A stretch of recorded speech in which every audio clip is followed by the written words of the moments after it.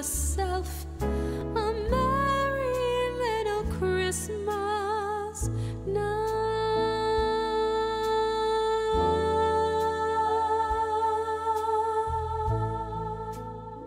A bundle of toys he had flung on his back, and he looked like a pack peddler just opening his pack. His eyes, how they twinkled, his dimples, how merry! His cheeks were like roses, his nose like a cherry.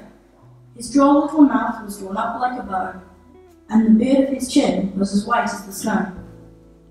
The stump of a pipe he held tight in his teeth, and the smoke it encircled his head like a wreath.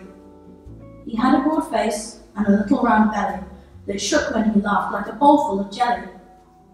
He was chubby and plump, a right jolly old elf, and I laughed when I saw him, in spite of myself. A wink of his eye and a twist of his head soon gave me to know I had nothing to dread. He spoke not a word, but went straight to his work, and filled all the stockings and tied with a jug. And laying his finger aside of his nose, and giving a nod, up the chimney he rose, then sprang to his sleigh, to his team gave a whistle, and away they all flew like the down of a thistle. But I heard him exclaim, ere he drove out of sight, Happy Christmas to all, and to all a good night.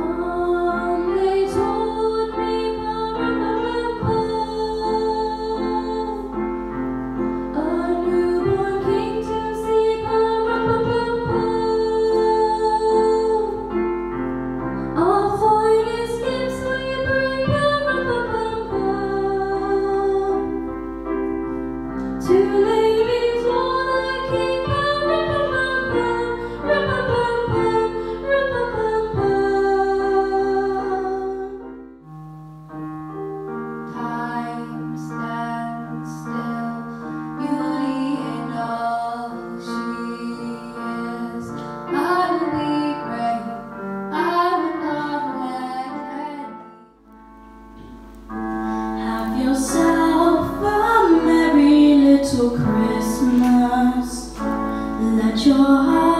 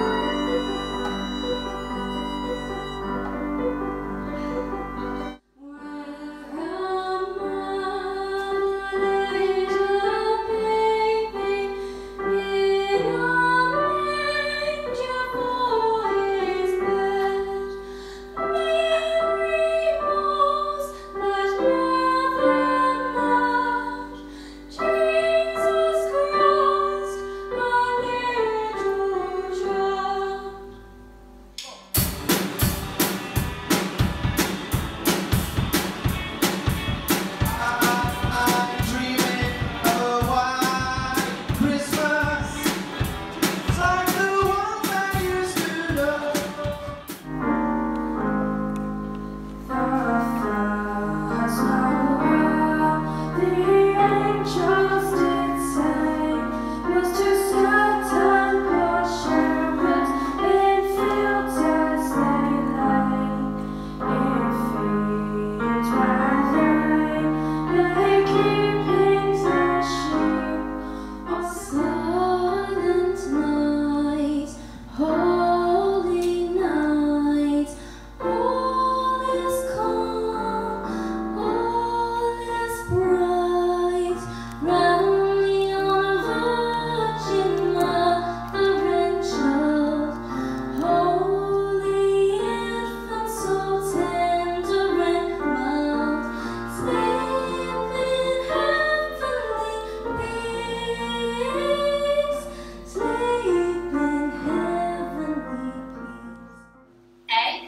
Boy, with all his might of wonder. What's today, my fine fellow? said Scrooge. Today? Replied the boy, Why, Christmas Day. It's Christmas Day. said Scrooge to himself. I haven't missed it. The spirits have done it all in one night. They can do anything they like. Of course they can. Of course they can. Hello, my fine fellow. Hello. Returned the boy. Do you know where the poulterer's is in the next street, but the one at the corner? Scrooge inquired. I should hope I did. Replied the lad, An intelligent boy. said Scrooge. A remarkable boy. Do you know whether they've sold the prize turkey that was hanging up there? Not the little prize turkey, the big one. What, the one as big as me? Returned the boy, What a delightful boy. said Scrooge. It's a pleasure to talk to him. Yes, my buck. It's hanging there now. Replied the boy, Is it? said Scrooge. Go and buy it. What? Uh? Exclaimed the boy. Nowhere